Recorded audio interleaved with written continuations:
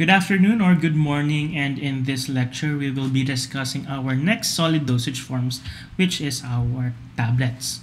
So tablets are solid dosage forms usually prepared with the aid of suitable pharmaceutical excipients. They may vary in size, shape, weight, hardness, thickness, disintegration, and dissolution characteristics depending on their intended use and their method of manufacture. Tablets are primarily prepared by compression with a, with a limited number prepared by molding. So if you compare your tablets versus your capsules, capsules are prepared by filling gelatin shells. Tablets, on the other hand, are prepared by compressing granules or powders. We have different types of tablets based on their methods and their uses. But before we move on to the various types of tablet, let us first discuss the most basic or our compressed tablets. So our compressed tablets, these are tablets that are made via compression. Okay, here is in, in compressed tablets, granules are applied to a great amount of force to form the final tablet and you require a, a different excipients to assist in, form, in forming your tablet. So first is your diluents and fillers. These are excipients that add bulk to your active ingredient to form the final tablet. Next, you have binders and adhesives. These are the glue that holds your tablets together. If you compress tablets without any binders or adhesives, you will form a tablet that will crumble. It's because nothing inside the tablet is holding the whole tablet together. So the role of binders and adhesives is to facilitate the uh, integrity of your tablets when handling. Next is your disintegrant and your disintegrating agents. These are used to facilitate disintegration and dissolution upon entry to your gastrointestinal tract. You also have your anti-adherents, your glidants, lubricants, or lubricating agents. These are more important in tablets than in capsules. Since you are compressing tablets using a punch and a die, if you do not lubricate your uh, tablet formulation correctly, there might be a chance that your tablet tends to stick towards your punches or stick towards your dies or stick to the walls of the dies. What this happens is it slows down production and you will have uh, defects in your formulation. And finally, you have your miscellaneous adjuncts such as colorants and flavorants. So the first type of your tablet is your multiply compressed tablet. When we say multiply compressed tablets, these are tablets that are formed when you are to compress twice. So for the first example, letter A, first you compress an inner tablet, then you add granules around the, the inner tablet, then compress again. What you will have is a bi-layered tablet in which one uh, tablet primarily including uh, pri which which would most likely contain a different drug from the outer uh, outer layer in which you are physically separating the two drugs. Okay, so that's uh, one method. And the other one is when you fill and compress the first tablet and simply add the second fill on top of this uh, of your first compression. So after the second compression, you will end up with a bilayered tablet. So an example of this is your Alaxan FR, which is yellow and orange. And you also have your Neozep, which is white and green. So those tablets are impossible to be formed without compressing twice. Next is your sugar-coated tablets. So sugar-coated tablets are compressed tablets that may be coated with a colored or uncolored sugar layer. The coating is water-soluble and quickly dissolves after swallowing.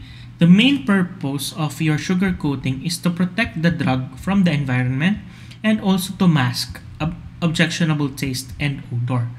So the sugar coat also enhances appearance of the compressed tablets, allowing you to imprint a manufacturer information. So you can actually see sometimes serial codes in your on your sugar-coated tablets. The main disadvantage of sugar-coated tablets is, number one, they add significant amount of bulk to your tablets. This increases weight and this increases transportation costs.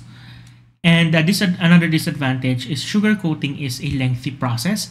So you add an extra step to your tablet compression and you need a certain amount of expertise in sugar coating tablets. Next is your film coated tablets. Your film coated tablets serve the same purpose as your sugar coated tablets. However, the main advantage of sugar of your film coated tablets is they produce a much smaller tablet. Since sugar coated tablets tend to increase significantly in mass, film coated tablets often produce negligible changes in tablet size. So, film coated tablets are actually almost indistinguishable from regular tablets unless you read the labels correctly. However, in terms of function, they act the same as sugar coated tablets. Next, you have your gelatin coated tablets. This is also similar to your film coated and your sugar coated tablets. The only difference is the coating material. So in gelatin coated tablets, this is a rather new dosage form. Uh, instead of using film or sugar, you dip it in gelatin instead. One of the advantage of one, one of the advantages of gelatin is it's cheap and it readily absorb it readily coats a tablet. Okay and it makes it a little bit smoother to swallow. Next is a unique dosage form in which it has a specific purpose. You have your enteric coated tablets. So your enteric coated tablets, these are certain uh, these are tablets in which it is coated with an enteric uh, coating which protects it from the stomach conditions. So the enteric coating is designed so that the tablet would withstand gastric conditions but would immediately dissolve or disintegrate in our intestinal conditions. This is employed in drugs that are usually destroyed in your stomach and can only be absorbed in your intestine. So an example of this is your erythromycin. So erythromycin is always enteric coated. It's because erythromycin is destroyed in stomach conditions or in acidic conditions. But once it arrives in your intestine, the coating starts to dissolve, the tablet tends to disintegrate, and it starts to be absorbed. Next is your buccal and your sublingual tablets. So these tablets are not intended to be swallowed. Buccal and sublingual tablets are intended to be dissolved in the oral cavity. Buccal meaning uh, in your uh, near the cheeks and sublingual meaning underneath the tongue. So these tablets are not to be ingested. These tablets, once dissolved in your mouth, are absorbable in the mouth itself. However, not all tablets can be formulated can be formulated as buccal and sublingual tablets. Certain drugs that has certain physicochemical properties can be absorbed from the oral mucosa but not all drugs exhibit these properties. That is why you only have a few selection of buccal and your sublingual tablets.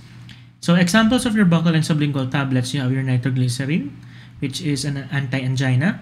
You also have your fentanyl, which is an opioid drug. And you also have your uh, clonidine, which is also another antihypertensive drug. Okay, please do make sure that once you instruct our patients to how to take our sublingual tablets is do not swallow. Next is your lozenges and your troches. Lozenges and troches are familiar to you. This is your strepsils and your dequalinium chloride. These are intended to be dissolved in the mouth. Primarily, these are drugs which has an agreeable taste and are primarily used to disinfect your oral cavity or to uh, suck on the troches or your lozenges so that you can provide relief to sore throat. Next, you have your chewable tablets. Chewable tablets are specially formulated with mannitol to increase creaminess when chewed and to provide a pleasant taste. Chewable tablets are primarily designed for children and for adults who have difficulty in swallowing. However, similar to your buccal and your sublingual tablets, only certain drugs can be formulated as chewable tablets. Primarily, it's because of taste. So vitamins like ascorbic acid and multivitamins that uh, are formulated to have a pleasant taste can be formed into chewable tablets. Your antacids can also be formed as chewable tablets. Your Kremil-S is a chewable tablet. However, not all drugs can be uh, chewable. We have drugs that are are very bitter that mannitol and sugar is insufficient to mask the taste. So you don't want to chew on a bitter drug. So instead of formulating it as a chewable tablet, make it a plain tablet so you don't have to taste the drug so much. Okay, so that is the only downside of chewable tablets. Please take note that chewable tablets are not uh, are not or these are different from your rapidly dissolving tablets or your orally dissolving tablets. Next, you have your effervescent tablets. Effervescent tablets are uh, effervescent granulated salts that were compressed into the tablet formulation. We have certain drugs that are uh, formulated as effervescent tablets, like your Fluimucil or your acetylcysteine. These are intended to uh, bubble when dipped or when dropped into a glass of water. Once you drop it into a glass of water, it would start to release carbon dioxide, causing the bubbling effect. So the bubbling effect actually masks the bitter taste of the drug. So if you ever tried Fluimucil, either granules or tablets, once you place it in your glass of water, you have to finish the glass of water.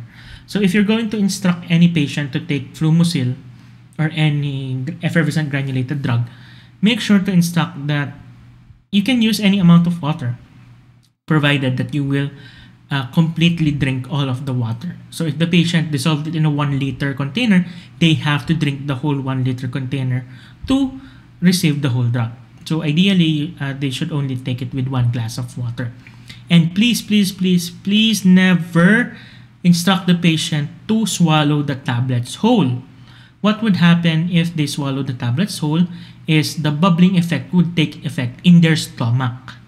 And how is this bad? It was it would cause bloating, it would cause burping, and in the worst possible case, it would cause vomiting. So this has happened before, and don't be that person that causes this misunderstanding. So next is your historical tablets. So these are uh, not anymore these these drugs or these tablets are not very common in in contemporary practice but they are still important for our historical purposes.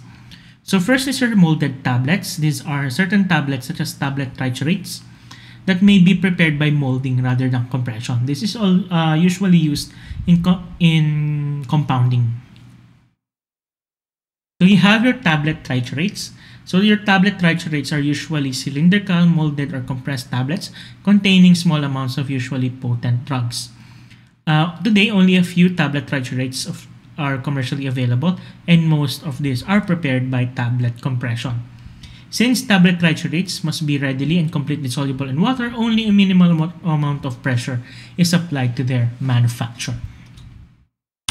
Next, you have your hypodermic tablets. These are large tablets intended to be used by the physician to compound it to make a injection. Okay, so these are active ingredients in tablets that are crushed and uh, reconstituted into injections. These are not anymore used because doctors don't go house to house anymore. The main purpose of hypodermic tablets back in the day is is so that doctors can carry a larger assortment of drugs in their medicine bag. And since doctors don't go towards patients anymore, patients go to the doctor, the need for hypodermic tablets has led it to phase out, to phase out in the market. Next, you have dispensing tablets. So dispensing tablets are no longer in use. These are usually large, potent tablets intended for compounding pharmacists to serve as a stock of some sort. So what the pharmacist will do is they will break apart the tablet, weigh certain parts of the tablet, and they compound it into a suitable dosage form, like a paper tablet, another tablet, or a capsule. The danger of this, since these are large potent drugs, is once if they if there is a wrong in dispensing, uh, it is very potent, so it might actually kill a person. However, uh, dispensing tablets are no longer in use.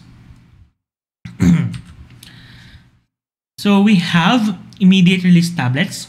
When we say immediate release tablets, these are tablets designed to disintegrate and release their medication upon contact with your gastrointestinal tract. These are not special, these are can also be called plain tablets. So we call them IR or plain tablets. They have no special mechanisms at all. Next, you have your instantly disintegrating or dissolving tablets. So these are tablets that are different from chewables. You don't have to chew instantly disintegrating tablets. These tablets are designed so that when they are inserted in your oral cavity, they dissolve rapidly. They do not need to be ingested because it would not actually uh, be ingested. Once it is in your mouth, it, it dissolves rapidly, it becomes a solution, and it rapidly is absorbed. Okay, so an example of rapidly dissolving tablet is your loratadine, particularly Claritin Reditabs. These are very fast dissolving tablets. You don't actually need water anymore for this. And you also have your antipsychotic drugs as your ODTs or your RDTs. The advantage of antipsychotic drugs as RDTs is if the patient is uncooperative, meaning they do not want to ingest drugs, you can just simply uh, force the patient to open their mouth and drop the tablet. Once it comes in contact with saliva, it would rapidly dissolve and you have already given the dose for the patient. Next, you have your vaginal tablets. So vaginal tablets are similar to vaginal suppositories. The only difference is these are prepared by compression, while your suppositories are usually prepared by melting or by molding. So vaginal tablets, these are tablets in, uh, intended to be inserted up in the vagina. Usually these are antifungals, which are inserted up in the vagina using a special applicator. Okay, once they are in the vagina, these are designed to dissolve in vaginal secretions, melt, and uh, its effect would be local to the vagina. Primarily, these are used to control candida invasion. Okay, so you have compressed tablets. In compressed tablets, tablet diameters and shapes are determined by the die and the punches in compression. The less concave the punches, the flatter the tablets. Uh, conversely, the more concave the punches, the more convex the resulting tablets. Next is your quality standards and compendial requirements. So for tablet weight and USP weight variation test, these are tests performed to the a set or a batch of tablets to make sure that there is uniform distribution of the active ingredient in your batch of tablet compressions. In content uniformity, this is also similar to your tablet uh, weight variation test. However, in content your uniformity, you're going to assay. You're going to assay each uh, a sample of tablets, and you're going to determine if the range, if your batch of tablets are within range of the label claim. Okay, so therefore, for example, if you have a 100 milligram label claim, and the range is 85% to 115%. So the minimum should be 85 milligrams in a tablet and the maximum should be 115 milligrams in a tablet. Next, you have your tablet thickness. Tablet thickness is more of a quality control measure. If you have irregular shaped tablets or irregular uh, you have irregular tablets which has different thicknesses, it might uh, mean that there is a problem in your manufacturing process since all your tablets should be uniform. Okay, so tablet thickness is more of a in-process quality control measure to make sure that you're still producing uniform tablets. Tablet hardness is a property of tablets in which it is the resistance to uh, crumbling. So tablets should be hard enough, meaning they don't crumble in normal handling. But when they are ingested, they are uh, disintegrated properly. So as a rule of thumb, at least 4 kilograms of force should be survived by your tablet. So your tablet must survive at least 4 kilograms of force. Another rule for that is called the thumb rule. If you're able to crush a tablet with your bare thumb and index finger, that is a soft tablet. Okay? Please take note that tablet hardness is different from friability. So friability is the outward uh, resistance of your drug. So you might have a hard tablet, but if it is friable, meaning chips of your tablet uh, is ejected once your tablet hits certain surfaces. Next is tablet disintegration. This is similar to your this is similar to your uh, capsule disintegration test. So you place it in a basket rack apparatus which is undergone for 30 minutes under physiologic conditions. It should be completely disintegrated before 30 minutes. Uh, based on experience, almost all uh, commercially available tablets usually last for 8 to 10 minutes in tablet disintegration. Your product fails if after 30 minutes you still have a whole tablet, meaning your tablet fails to disintegrate. Please take note of the definition of disintegration as there is a soft mass having a having no palpably firm core. Hindi niyo na nahahawakan yung uh, remains. Okay, please take note that different tablets will require different disintegration parameters. So this is your SOTAX disintegration apparatus. We have this in our laboratory. Hopefully you would be able to use it in quality control in the future.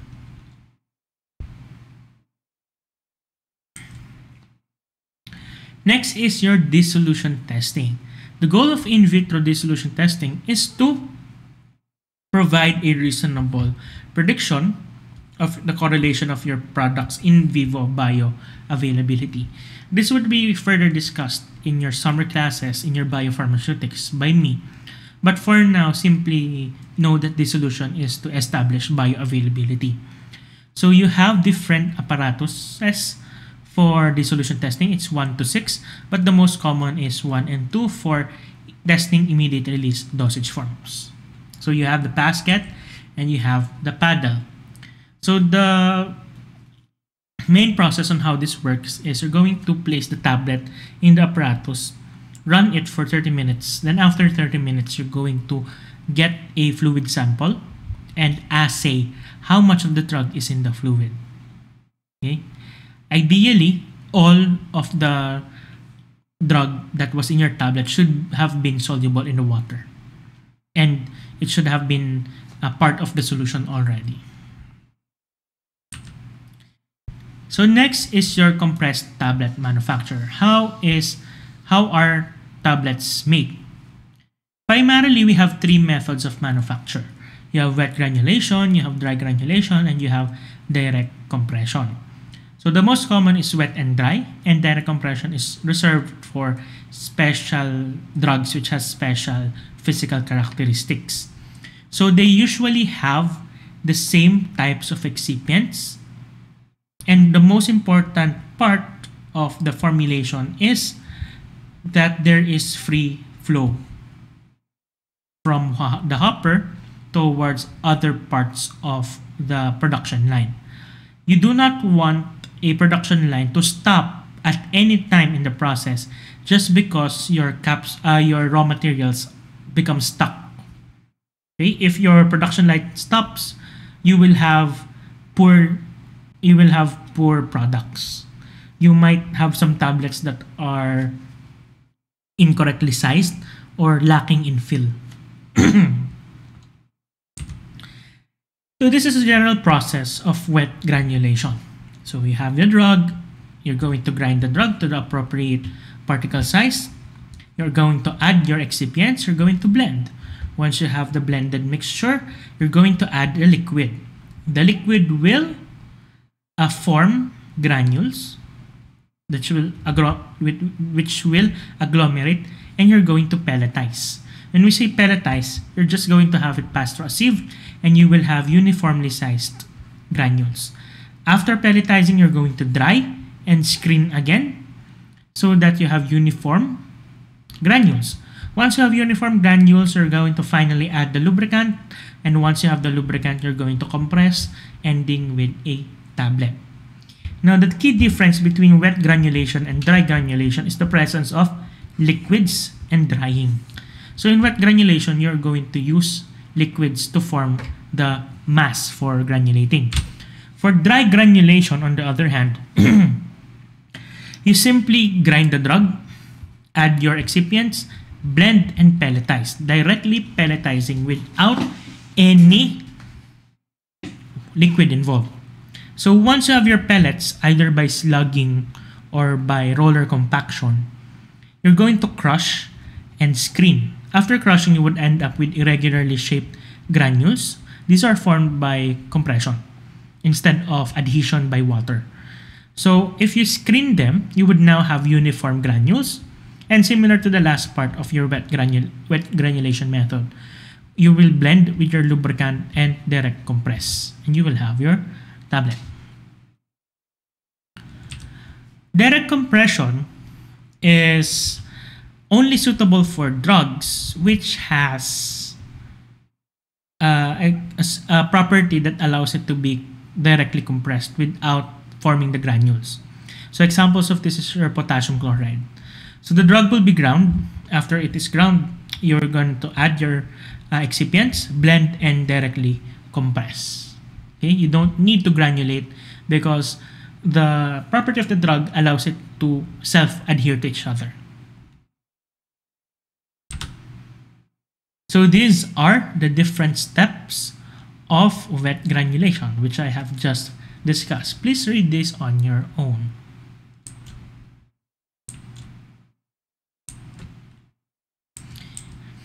Okay, please take note that we have different excipients like fillers. The fillers or your diluents make up the bulk of your compression, of your compressed tablets. This includes lactose, microcrystalline cellulose, starch, powdered sucrose, and calcium phosphate. Next, you have your disintegrating agents, which help your, your tablet disintegrate once it is exposed to water. So you have the various samples on the screen, and croscarmellose are preferred croscarmellose and sodium starch glycolate. Okay. Next is preparing the damp mass. You can uh, use adhering agents or binding agents like liquid cornstarch, glucose solution, molasses, methyl cellulose, carboxymethyl cellulose, and microcrystalline cellulose. Usually, the cheapest would be cornstarch.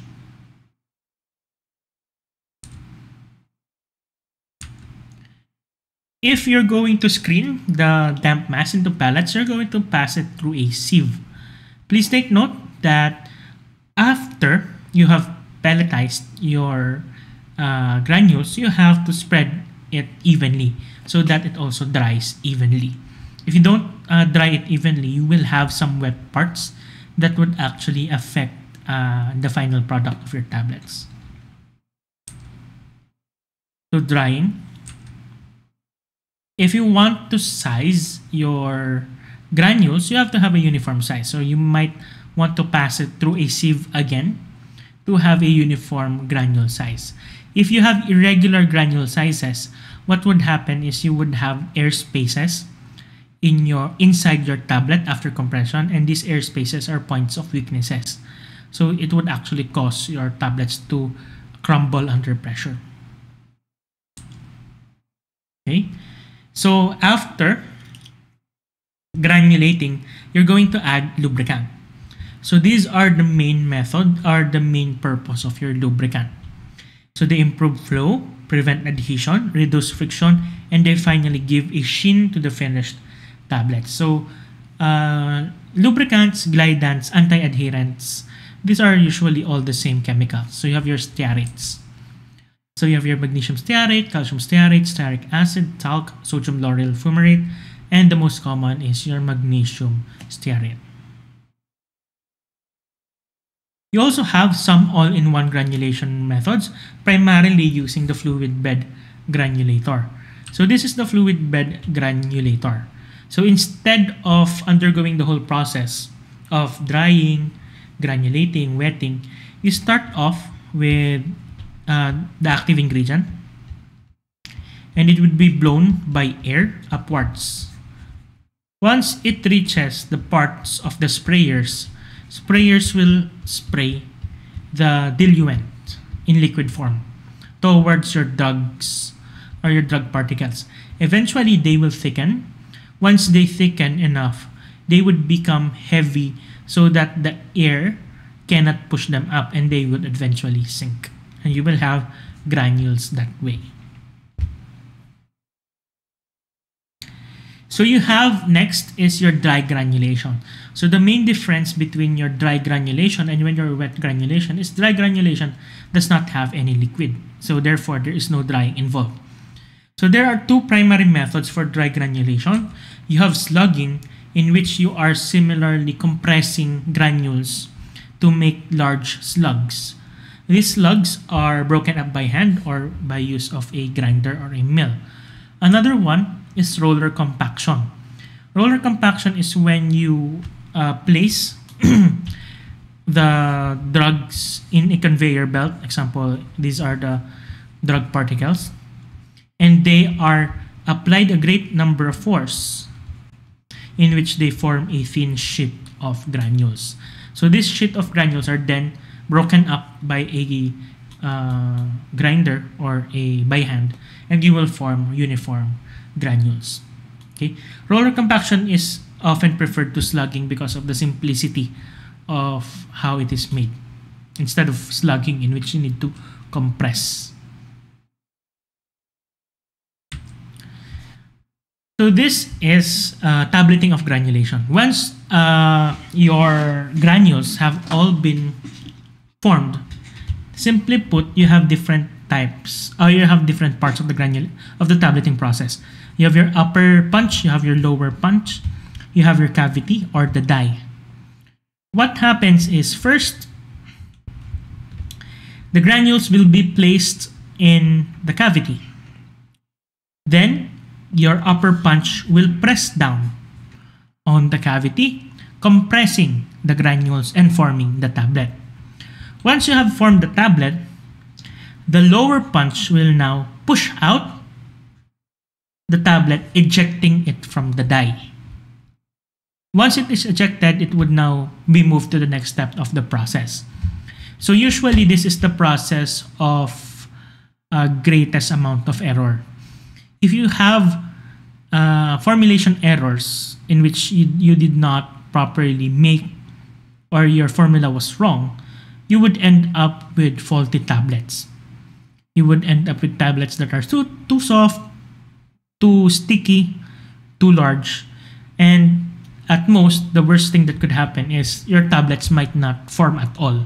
You are able to compress, but the tablet does not hold its shape. For direct compression, it only applies for certain granular chemicals like potassium chloride. This possesses free-flowing and cohesive properties that enable them to be compressed directly in a tablet machine without any need of granulation. So next you have the process of tablet coating. So tablets are coated for a number of reasons that are that has been discussed earlier you have two types. You have your uh, sugar coating and you have your film coating. For sugar coating tablets, these are the steps of sugar coating. Waterproofing and sealing, subcoating, smoothing, finishing, and polishing. So for waterproofing and sealing, tablets containing components that are adversely affected by moisture must be waterproofed first. You can use shellac or any polymer that are applied to the compressed tablets. Then you perform subcoating. Subcoating is where most of the mass is added. Okay, so in this step, 3 to 5 subcoats of a sugar-based syrup is applied. So you're going to spray the sugar solution or the sugar syrup solution on your tablets and it would form the subcoat. After it is subcoated, you are going to add additional coatings of syrup and you're going to smooth the coatings either by buffing the outermost layer. And finally, you have your finishing and coloring. So to, uh, to attain final smoothness, several coats of a thin syrup containing the desired colorant is applied in the usual manner and they are buffed. Okay, so in the last step is where the color is added. Next, you have your film coated tablets. So in the film coating process, you place a thin skin tight coating of a plastic like material over the compressed tablets and you are producing tablets which has essentially the same weight because film coating is so thin it actually produces negligible additions in weight. So we have different excipients to film coating. You have the film former, that is the primary material of your film. It could be cellulose acetate phthalate. You have your alloying substance. So your alloying substance provides water solubility and permeability. It's because if you uh, uh, form a film that is not soluble to water, that tablet will not dissolve. Okay? Your stomach and your GI tract is mostly water. If it is insoluble to water, you will excrete it as a solid tablet. And finally, you have a plasticizer. So the plasticizer's role is to simply is to simply add flexibility to, to your film so that it doesn't crack.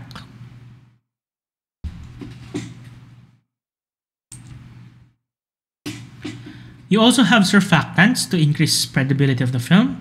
You have your opacants and colorants to give a color to the film if needed. You also have your sweeteners, flavor, and aromas and you have your glossant to provide luster.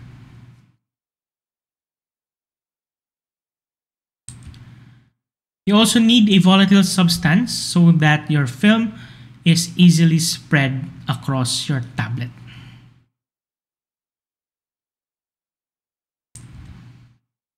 And finally, you have your enteric coatings. So enteric coatings are uh, primarily a type of film coating in which it renders your tablet resistant to acidic pH. And these are designed to dissolve at pHs 4.8 and greater.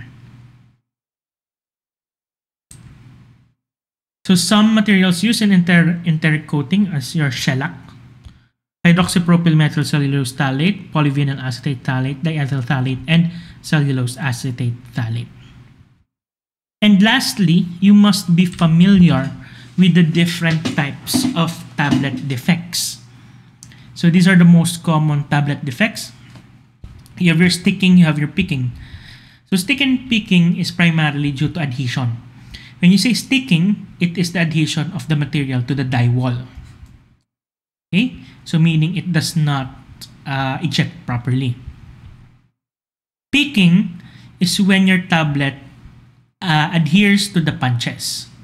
So uh, once your tablet goes up, uh, once your punch goes up, the tablet also goes with your punch. So that's uh, picking.